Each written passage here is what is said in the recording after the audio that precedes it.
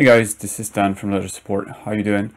So um, you want to stake ETH from your Ledger device and earn yield? Sure, it's possible, and there are actually many ways to do this in Ledger Live, so that's what we're going to talk about in this video today.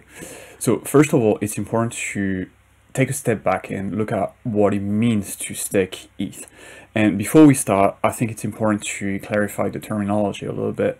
So I'll be referring to the Ethereum network as Ethereum and to Ether, the native coin of the Ethereum network, as ETH. So Ethereum is the network and ETH is the coin. Now, the Ethereum network is a proof of work chain. So ETH is not staked on the Ethereum chain you're familiar with because, well, that chain doesn't support staking yet. Instead, when you stake ETH, you, ETH is actually deposited onto a different Ethereum chain called the Beacon chain. And um, often your ETH is actually pooled with other coins provided by other Ethereum users. Um, this is called liquid staking. So you can think of the Beacon chain as sort of a parallel Ethereum chain that runs on proof of stake instead of proof of work. Both exist at the same time, right? Um, in the future, the Ethereum chain um, that we know uh, right now the, the legacy Ethereum chain will absorb the beacon chain. Uh, proof of work will be turned off and the beacon chain will provide consensus via proof of stake. This event is called the merge and it's one of the most anticipated events in the history of Ethereum. So you have two blockchains that just become one. We turn off proof of work, proof of stake comes to life, and now you've got Ethereum with proof of stake. That's that's the merge basically. Now the reason why uh, ETH often needs to be pooled to be staked on the beacon chain is that because the beacon chain requires a minimum of 32 ETH to stake, which is quite expensive for most people, right? Um, besides, staking in the beacon chain is also a one-way route, which means that once your ETH is deposited, you won't be able to withdraw until a few upgrades after the merge takes place. Now, optimistically, the merge will take place in about six months, but it could take more. And um, the upgrade to withdraw your coins could take place six months after that, but it could also be uh, over a year, so or more, who knows, right? So it's important to understand what happens to ETH once it gets deposited into the beacon chain. So at this point, you might be thinking, okay, well, I don't, I don't really want to stake my ETH anymore because I don't have 32 ETH and I don't want my ETH to be locked. So what if I need my ETH back tomorrow, let's say? Uh, so fortunately, Ledger has partnered with a service that solves that problem, and this service is called Lido. Um, you can think of Lido as a service that helps you stake ETH onto the Beacon chain.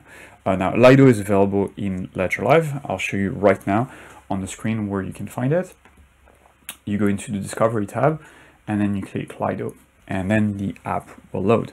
Now, um, as I was saying, you can think of Lido as a service that helps you stake ETH onto the Beacon chain.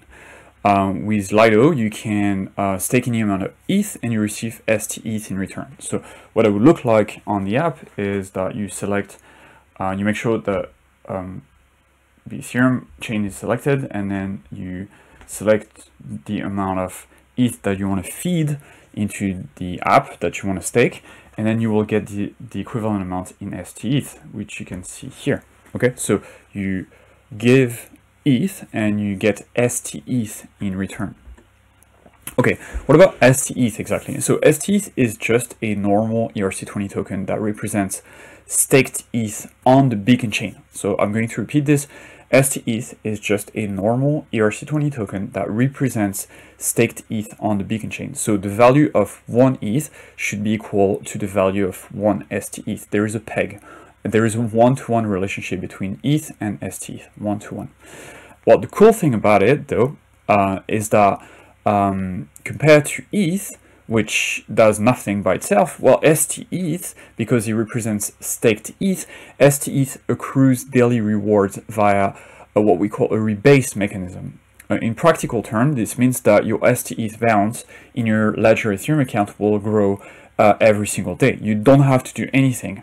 Um, just so you know, in case you have STETH in your account, STETH will appear as just a token into uh, your Ethereum account. So you'll go into your Ethereum account like this, and then STETH will appear in the token section here, just like a, a normal token, okay? Um, and um, yeah, so ST and, and that balance of STETH will uh, accrue daily. So day one, it will be like, for example, one STEs. Day two will be 1.00001 STEs and so on and so forth. So it, it gets bigger every single day. Uh, what what doesn't happen is you won't get new STETH transactions to um, your Ledger Ethereum accounts. So, for example, if you're familiar with other staking uh, methods like like Polkadot, for example, where you get daily transactions. In this case, with STETH is not the case, right? Uh, it's just the STETH balance that goes up every single day. That's what we call um, this the the rebase mechanism. That's what it's all about. So holding STEs is basically akin to staking ETH onto the Beacon chain, except for the fact that STETH is completely liquid uh, which means that you can easily transfer STETH to a different wallet. You can swap it back for any other tokens. Uh, you can move it to a different wallet. You can do whatever you want with it. Uh, and you can also swap it for ETH, which is great because that means that now, um, unlike staking on the Beacon chain where the ETH gets locked, if you have STETH, you can also get back into normal ETH at any time. So I know that's a lot of information to take, so let's bring it back um, for a bit. Um, so holding STETH is similar to staking ETH, but you can hold any amount of STETH you're comfortable with. So you don't need 32 ETH like solo staking on the Beacon chain. And on top of this, you can swap back from STETH to regular ETH at any time of your choosing. So that's a great deal, right? Um, basically, STETH and Lido solve the two main issues with staking on the Beacon chain, which is uh, tokens get locked and um, the second one. So tokens get locked and you need 32 ETH. With STETH and Lido, you don't need that, okay? It solves both problems. So it's great. Um, now, before I show you how to get STETH, let me go over the potential risks of having STETH, right? Because there are some. STETH only has value as long as it's backed by real ETH stake on the Beacon chain. The staking service is operated by Lido, so if Lido ever goes down or incur what we call slashing, then there is a risk that STETH will depeg and lose its value against ETH. So that's a scenario where ETH and STETH are not one-to-one -one anymore. Maybe STETH is half the price of ETH. So that's, that's a risk, but Lido has been in business for quite a long time now, and there has never been an event, uh, but there could be an event, uh, there could be, there are risk, of course, like anything in life. Uh, but if that's a risk you're comfortable taking, then let's move on to how you can acquire STETH. So first, the first um, the first obvious way to get STETH is to use the Lido app in Ledger Live, and I'm going to pop the Lido back, uh, the Lido app back up. So you use the Lido app in Ledger you feed the app some ETH, and it'll stake your ETH and send an equivalent amount of STETH token to your Ledger account. And that's what I showed um, last time. Uh, see, like I feed my ETH and then I get STETH in return. And you can see here the APR is 4%, which is quite nice. Uh, and that's the APR I will get on my STETH bound. Mm -hmm. um, so um, that's one way you can do it, but there is another way you can do it. Um, and that second way is also very convenient if you want to move from STETH back to regular ETH. So let me show you.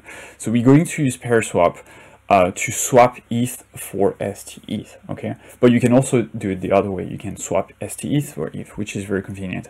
So, you, so let, us use Paraswap first. I'm going to show you where Paraswap is.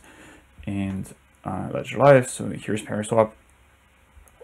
Um, it's loading. So you can think of Paraswap as Skyscanner or Expedia for Ethereum uh, decentralized exchanges. So basically you tell Paraswap that you want to swap a token for another token and you will find the best execution for your trade, the cheapest route. Uh, it's it's a great tool. So using Paraswap, I can um, I can swap almost any amount of ETH for STETH as long as I have enough ETH for transaction fees, which might be a problem in my case because I don't have a lot of ETH um, into my account. But let's let's see. Once your ETH has been swapped for STETH and has landed into my Ethereum account, it will start automatically uh, accruing the, uh, daily rewards. Uh, the, the rewards will uh, come every single day. Now, just a quick note about Paraswap. If you're swapping large amount of ETH, it's best to control for something called slippage. Uh, so you get the best execution for your trade.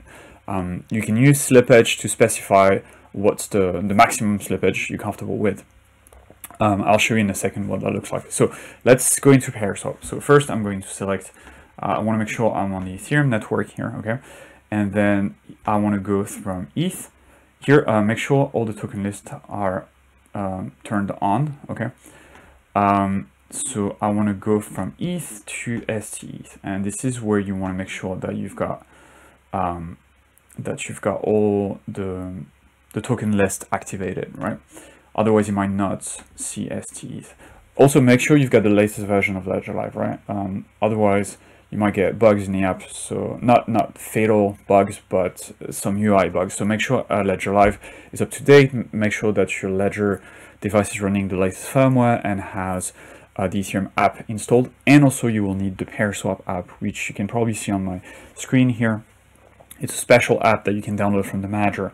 And that's the app that will allow you to swap any token, um, but any Ethereum token uh, and ETH directly from your Ledger device uh, with clear signing.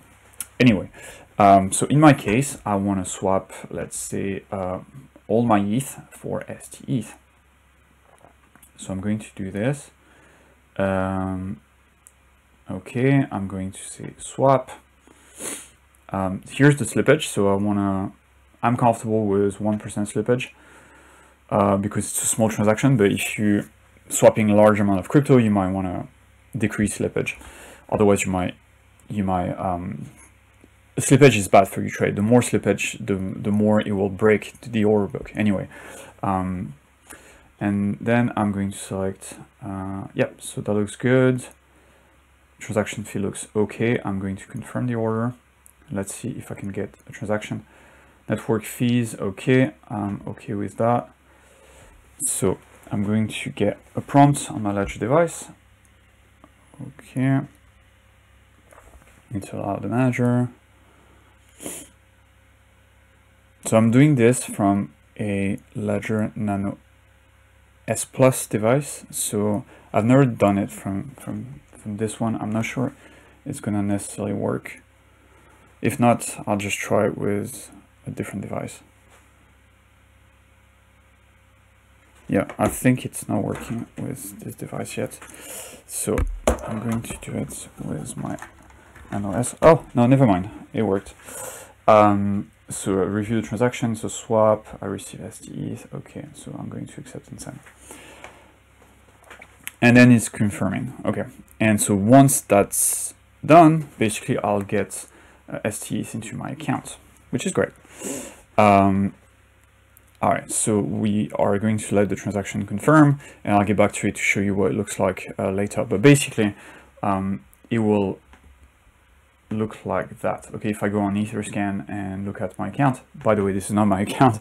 This is just a random account I selected on blockchain, but STETH will be in the token section here in in uh, in Etherscan. But we'll see.